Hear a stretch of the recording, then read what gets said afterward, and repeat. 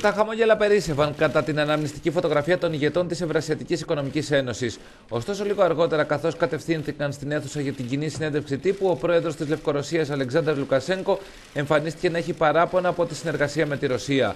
Την ώρα μάλιστα που εξέφραζε τις ενστάσεις του, οι κάμερες κατέγραφαν κάποιες στιγμές του δημοσιογράφους αλλά και τον Βλαντιμίρ Πούτιν να απορούν για αυτό το μικρό ξέσπασμα.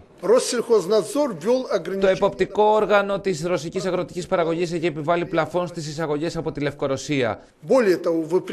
Επιπλέον, παραβιάζοντας κάθε διεθνή νόρμα, αντιμετωπίζουμε απαγόρευση μετακινήσεων στην επικράτεια της Λευκορωσίας. Έγινε μονομερός και χωρίς προηγούμενες διαβουλεύσεις, προσπερνώντας την Ευρασιατική Οικονομική Επιτροπή και όπως μαθαίνουμε σήμερα, κατά τη διάρκεια των συζητήσεων, χωρίς καν να υπάρχει η έγκριση του Βλαντιμίρ Πούτιν.